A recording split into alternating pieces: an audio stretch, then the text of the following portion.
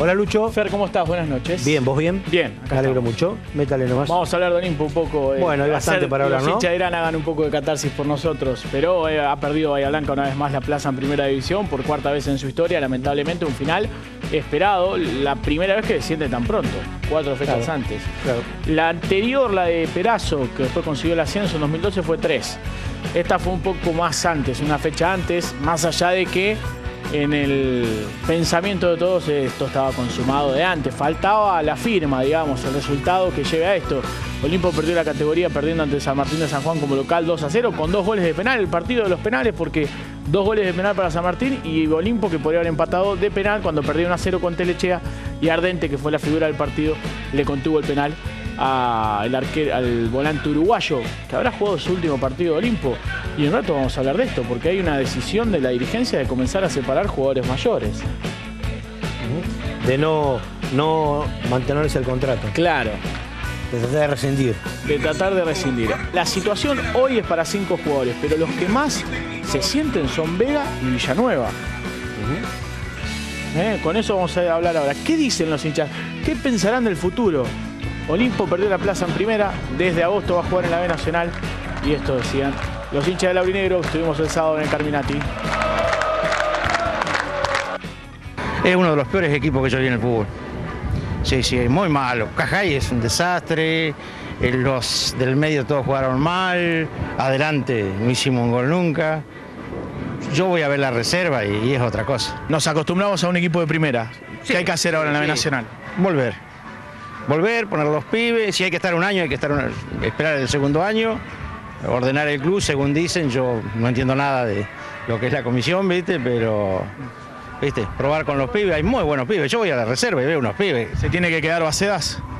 No me gusta, no me convence a mí. Capaz que sí. Creo que mm, se había armado un buen equipo, digamos, en el año pasado, en el torneo anterior, digamos, y después, bueno, se empezaron a ir por problemas del club y bueno, hay que seguir esforzando. ¿Qué, qué equipos armarías para el año que viene? Pibes y, y experiencia, ¿qué armarías? Y eh, más acompañamiento, así, capaz de experiencia y pibes, sí. ¿De qué técnico? Si decís, bueno, si le tenés que aconsejar al Tieri, ¿con qué nombre? Eh, Omar de Felipe, Está caro, está Newell's. eh, que tiene que volver. Si no, otro de acá, un Mauro La Espada, por ejemplo, que hizo un buen torneo en Roca, es sido del club. Ese estaba muy bueno. ¿Sos de lo que cree que, que tienen que jugar los pibes? Y sí, sí, sí, sí, sí, porque ya traer gente de afuera, gente muy grande, ya con mucha edad, ya está demostrado que no sirve. así ¿Qué crees que piensa el hincha Olimpo para la próxima temporada? Y ascender rápido. ¿Te acostumbraste a, jugar en primera? Sí, sí. ¿Va a ser así o no para el 2018, mitad de año? Y no sé, está, últimamente está armando mucho el equipo atrás. No puede salir a defender un empate como la otra vez. o cuatro o cinco refuerzos de nombre, de peso. Es decir, bueno, voy a la cancha a ver el equipo y a ver a este jugador. Creo que es lo importante. Creo que lo que se ha perdido en los últimos tiempos. Se trajeron refuerzos a granel y ninguno de, de renombre, de peso. ¿Debería seguir Bacedas en agosto? Sin palabras. ¿Buscarías a alguien de la casa? O... Eh, me gusta como técnico, me gusta como persona. Me parece que no va a tener el respaldo que necesita eh, para arrancar el proyecto. ¿Cómo lo ves, Olimpo? ¿Sufriste este año? Sí, Pero papá te trae igual. ¿Te gusta el fútbol? sí, ¿Va a volver rápido a primera? ¿Sí? sí. es una buena oportunidad para, para poder este, eh, dar ese- Cristian Villanueva no va a seguir en Olimpo. Es uno de los dos, al igual que David Vega, los vemos en imágenes. Son las dos bajas más notorias. También Lucas Villarroel, también eh, Sergio Ojeda. Son futbolistas que tenían contrato y que la dirigencia ha decidido ahora dejarlos de lado, como que no entrenen con el plantel profesional a la par. Y si pueden un tiempo rescindir el contrato. A mí me parece una situación rara. Me parecería raro que acepten los futbolistas, más allá de, de cada situación particular, porque tenés que terminar antes, dos meses antes de que termine tu, tu contrato, irte, y cuando te quedan cuatro semanas de vacaciones, hay una cuestión de No dinero ahí con una pérdida, no cobran 10 legalmente, pesos. Digamos, hay que respetar el contrato. Ahora, Sí. Si los jugadores pueden rescindir como un acuerdo, todo bien, pero no creo que los jugadores quieran rescindir como un acuerdo faltando dos meses. Sí. O sea, no sé, realmente me suena Hoy raro. Hay que ver si lo pueden hacer. Están un poco enojados porque dice, bueno, Vega y Villanueva por lo menos se podrían haber despedido en cancha. Vega no está disponible hace un año y medio para Olimpo. También eso hay que decirlo. Eh, un año y medio sin jugar.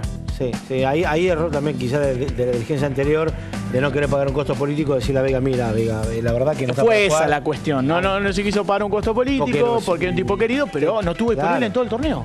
Cada vez que estaba disponible, se lesionaba. También eso hay que decirlo, más allá de ser unido, un tipo bárbaro y que estuvo nueve temporadas en Olimpo. Este Villanueva, 10. Llegó con Florit. No sigue. Villarroel, tampoco. Bueno, son jugadores que fueron importantes en el último tiempo, algunos con un año como Villarroel. Vamos a escuchar el testimonio de algunos futbolistas a la salida del partido el otro día en el Carminati, también haciendo un poco de, de balance. Consumado el descenso, Olimpo va a jugar la temporada 2018-2019 en la B Nacional.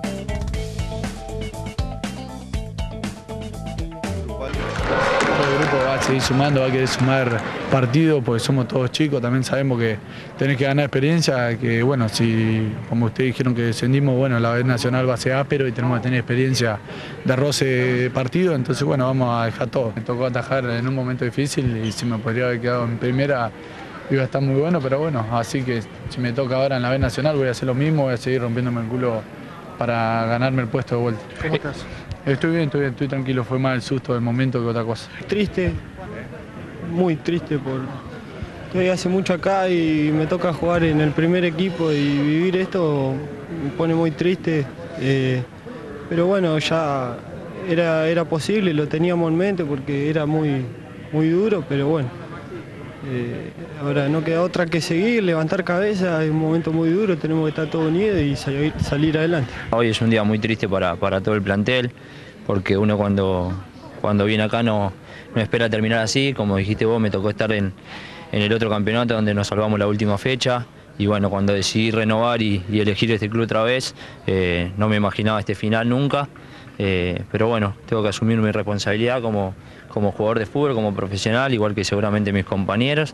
Pero adentro de la cancha tratamos de dar lo mejor. Está cerrando una etapa, por cómo hablas. Sí, sí, es una etapa que ya cerraron eh, los dirigentes conmigo. eh, ya no soy eh, parte, digamos, de- del equipo por decisión de ellos, así que obviamente que la etapa futbolística acá en Olimpo eh, terminó, tengo contrato, seguiré estrenando eh, como, como me corresponde porque soy profesional, pero bueno, se verá acá a una semana a ver qué, quieren hacer conmigo.